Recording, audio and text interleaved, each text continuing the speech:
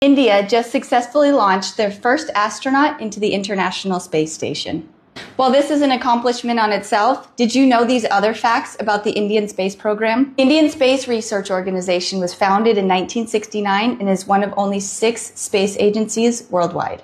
India's Mars mission, Mangalyaan, was the first interplanetary mission and cost only $74 million. To put that into perspective, NASA spent over a billion dollars on their first Mars mission. In fact, India has become renowned for its low cost space missions.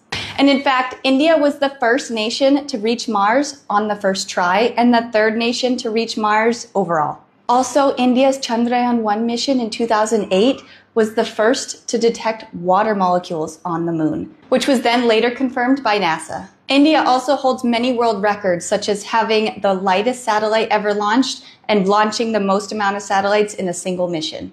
So it's safe to say India actually has a pretty impressive space program.